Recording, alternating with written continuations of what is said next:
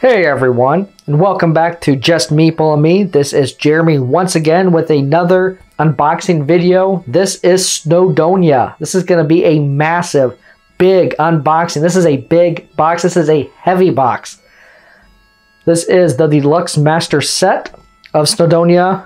It has over 700 cards, all new components, and I am very excited to just dig into this box and this universe. I have never played Snowdonia before. I had heard about it I saw the Kickstarter, just like what I saw and read, watched some playthrough videos. Rahdo has an amazing playthrough video of the original, you know, a few years back. And this is just a, a I'm excited to get into this game. I'm really excited to get this unboxed so I can start play. But it is definitely solo playable. So we're just gonna get this thing open and show you what it's all about. Now first, you know, this is a sleeved box cover the outside sleeve here showcases the original artwork of the original game, and there's a very sleek box underneath it. Now let's open this up to the back so we can see what this game is about. Again, I have to hold this with two hands. This is a big game. So again, Snowdonia, the Deluxe Master Set. The year is 1894, and the peaks of Snowdonia rise before you, encased in mist. Their summits barely visible. You will be among those who build a branch line from, well, I can't say that, Landburus, all the way to the summit. This almost impass- impossible task will be only one of many ahead of you, for your exceptional skill and, and ingenuity will allow rails to reach both the most famous and the most remote places of the world. So this is a railroad building game. You have to overcome environmental obstacles to build a railroad. So again, this is a heavy game, a big box. Also from the back, Snowdonia Deluxe Master Set is the ultimate edition of the critically acclaimed game, first published in 2012, expanded and updated over the years by designers and fans alike. Included within, you will find 18 different routes to build, each with its own special rules and unique historical flavor, as well as all other expansions and promotional content published physically and as online content. Snowdonia contains 715 high quality cards, historical stations, rails, contracts, trains, and more. Over 380 wooded pieces, a custom double layered insert for all the components, rulebook, scenario book, promo guidebook, and above all else, a truly legendary game of strategy, engineering, ingenuity, and history. Wow, that is a lot to take in. You can see why I'm so excited about this game here. So it is 1 to 5 players, 30 90 minutes, ages 10 plus. Alright, take the sleeve off. And this is what we have for the new sleek Deluxe Master Set box. Again, the sleeve showcases the original artwork of the game. And then this nice box here showcases the new deluxe edition. All right, so right on top, we have the Snowdonia Deluxe Master Set, Train Master List Appendix.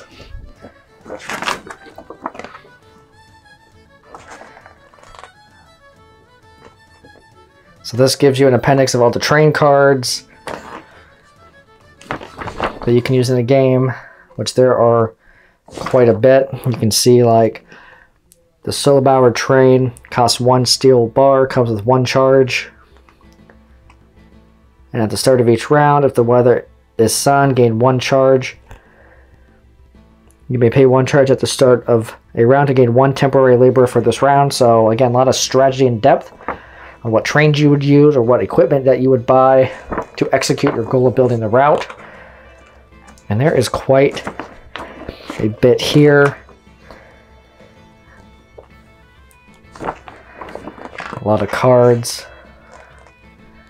So no wonder you need an appendix for all of this.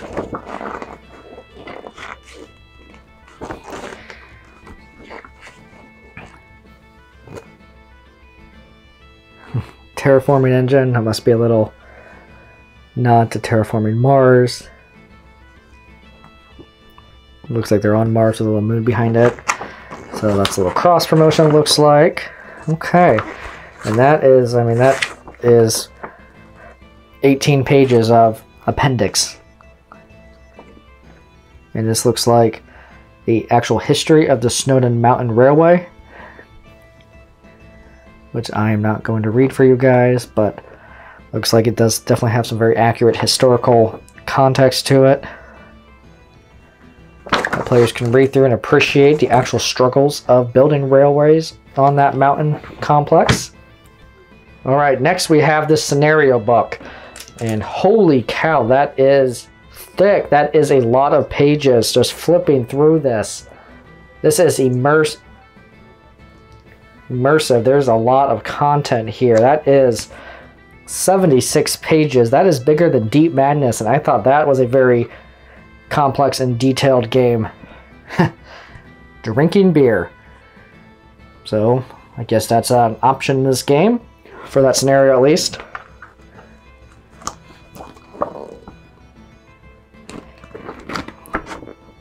So it looks like there's a solitaire mode, there's mini expansions.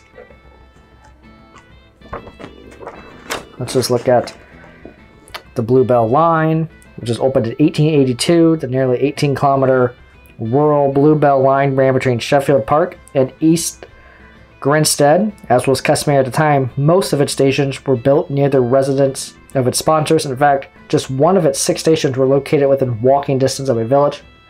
Thus, Sheffield Park was built for Henry Holroyd, 3rd Earl of Sheffield. Through one of the sponsors of the Bluebell line, Lord Sheffield is best remembered as a patron of cricket. Don't know why that has to do with anything, but there's scenario specific components, there's scenario rules, and everything that we have to follow the special rules with the thinner fog variant rules. Awesome. So again, there's a lot of depth and complexity in this game. As I said, there's a lot of scenarios. This will keep us busy for quite a while. This is a very nice looking book. This is a solid book. Pages are of high quality. A nice glossy finish on them. Looks very well made. Scenario book. We have a rule summary and player aid. And let's get these opened up here quick.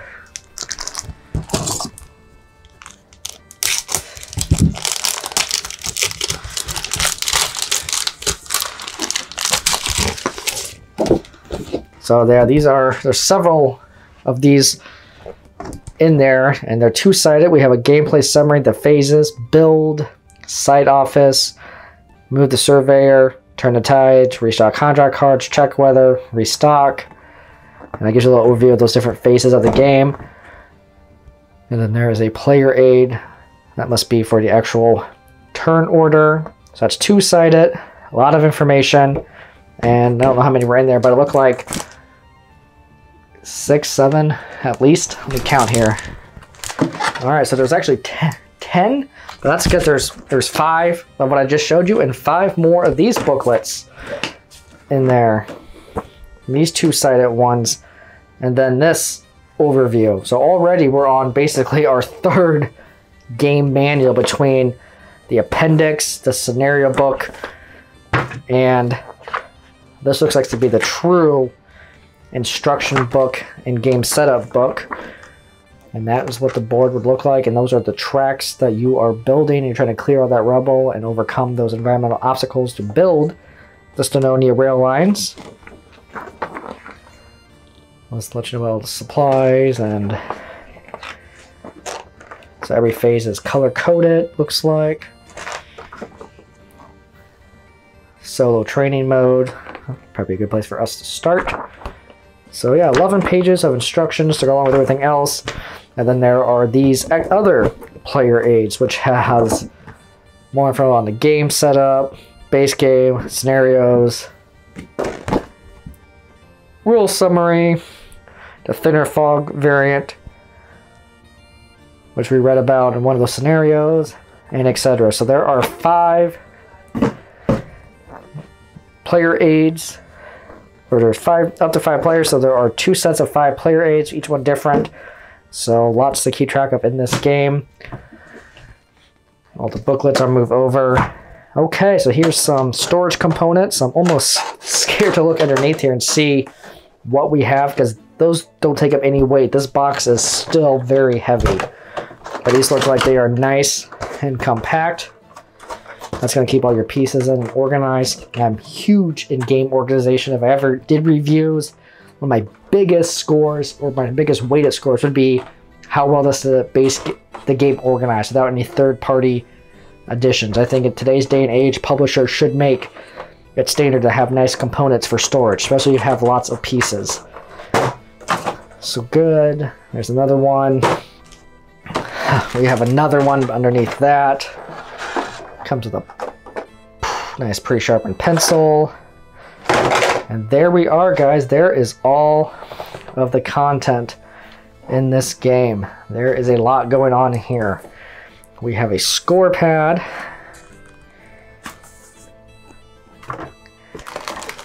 We have our meatballs. These are cute. I've never played a game that has a goat meatball. But there we go. Those are looks like screen printed goat meeples. So that's going to be a fun little addition. You know, we have more screen printed meeples. These must be excavators or engineers or surveyors. I don't know what the terminology is, but there's looks like several for each player color in there. Take a couple of these out.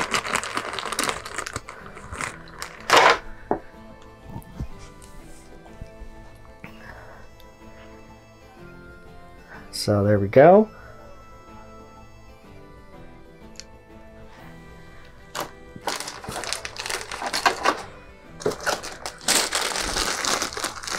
We have, I don't know those are, blocks. These represent, you can see they have symbols on it. I don't know if that's a, that looks like a train tunnel. I, I don't know what these blocks are for, what they're used for. They must be used to track special powers or statistics they're all in different player colors again. So, I mean, that looks like a traffic control tower, but this is not a plane building game. Got two of those. Okay, I mean, they're not player colors because the purple and the blue, they're both identical.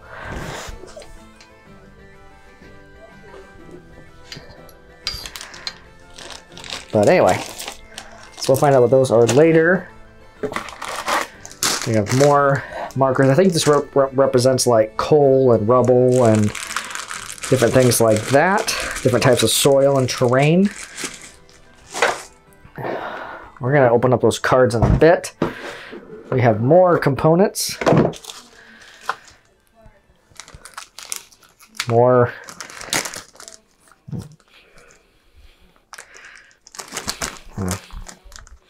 Hold up.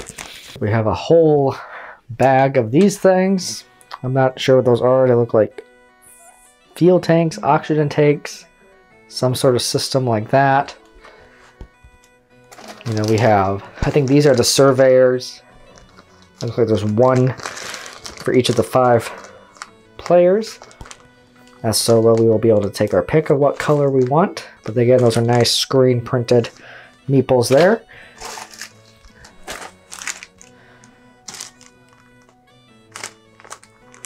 More wooden markers. This looks like going to be for track, possibly, or resource. We have a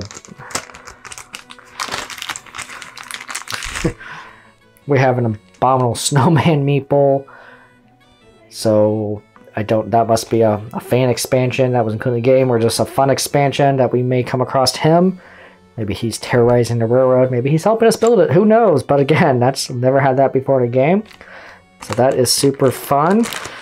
And this little pack here also has a nice locomotive train meeple. We have a little axe meeple. We have a hammer, or shovel, I'm sorry, meeple. And last but not least in this bag, we have railroad track meeple. So, that's all unique and different.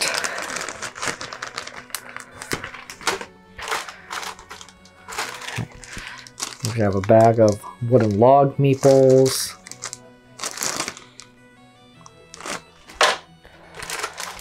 We have a bag of dynamite meeples, literally dynamite meeples tokens, so those look good. Sun meeple. So this weather has an effect on certain actions. If it's cloudy or rainy, you can't do certain actions. If it's sunny, you can do certain actions. So, and the weather is random, so that plays an effect. So that's either sun or flower. I can't really tell, but I'm going to go with sun because I know sun is a big part of this game and weather. We have more cubes. This just keeps going. We have water droplets. And some of these tokens I know are just exclusive for certain scenarios. We have... This must be goal or bonus point tracker, so most coal, most trains. Nice little wooden block there. This is like cavalry meeples. I, I didn't know we were battling in this game, but here we go. little cavalry looking meeples with swords. And here I was thought we were having just a railroad building game, but nope. Those those are in there. So wow guys, I'm already just almost overloaded by how much is in this game and I am super excited to learn how to play this. We have coffin tokens, coffin meeples. I know that was for one of the expansions.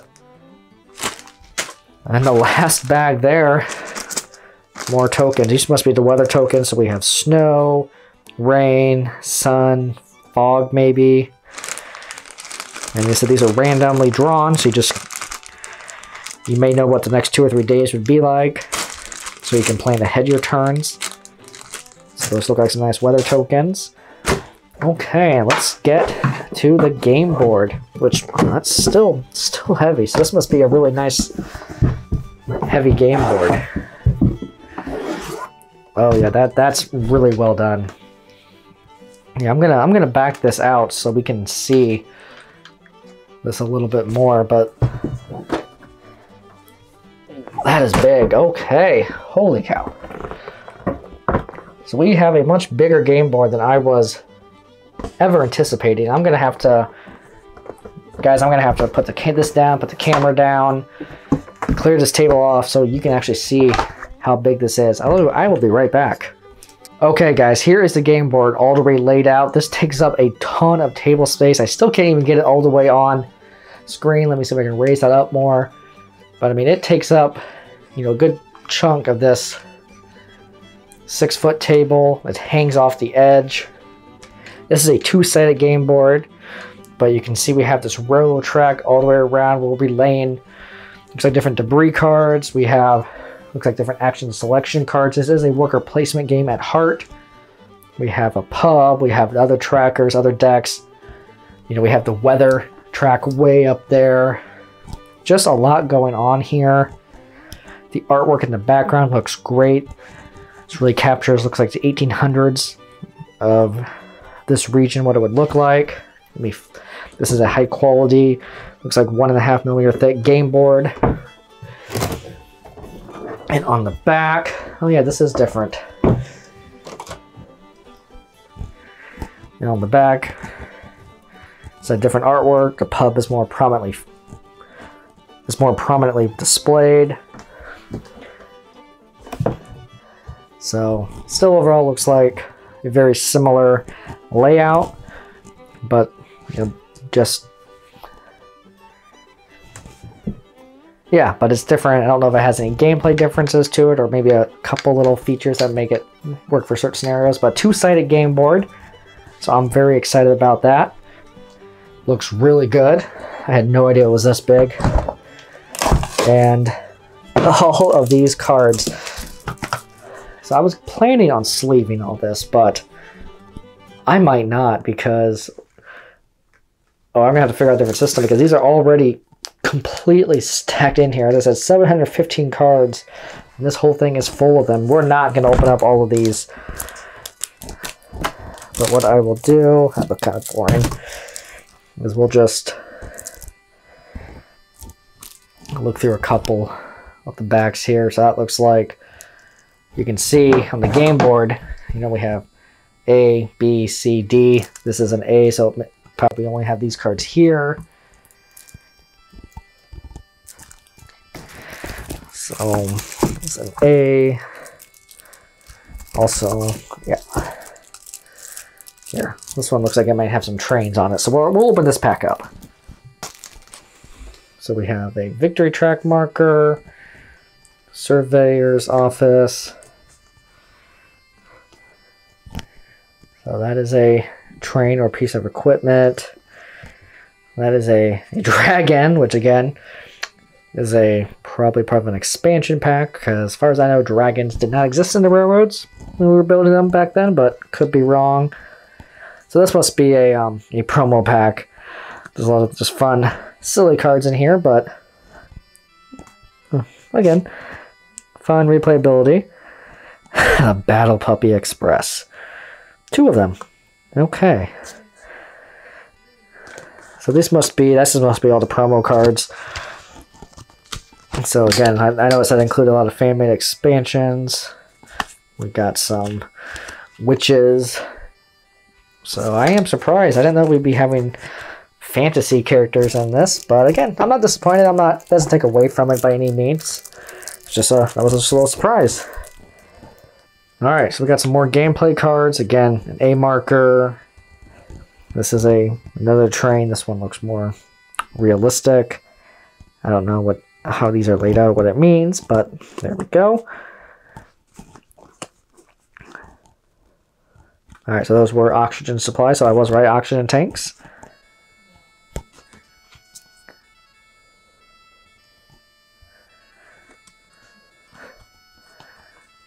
There's just so much in this game. Holy cow.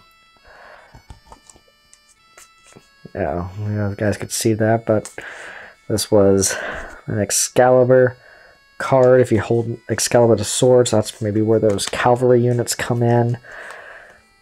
But we have lumber mill.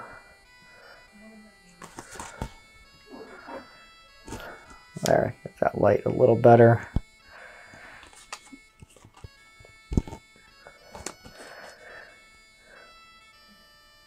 Okay. Well, guys, there's just so much in this game. I could probably spend another 20, 30 minutes going through these cards. There's just so much content that I can't even keep track of it all. But I'm going to see if maybe there's one more pack we can open here. And then that's going to do it for this unboxing video of Snowdonia, the Deluxe Master Set. And I'm still just shocked by how much content and scenarios and replayability and just material there is in this game. So that's the Fog Train. After using this ability, place one rubble on this card to indicate that its ability has been used and cannot be used again. It looks like there's some sort of trade-off there when we get a rail. So here's some it looks like the more realistic trains and not some of the fantasy packs. Again, that just looks fun. That just looks like you're building railroads, fighting dragons, just another day at the office. Can't be mad about that. Fighting snowman, having cavalry. Just, you know, this is a very loved game and passionate fan base. Still can't believe I've never played it, but I'm so glad I picked this up. So that looks good.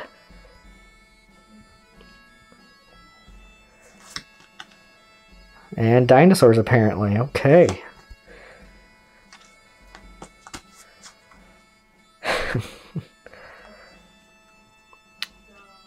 Okay, guys.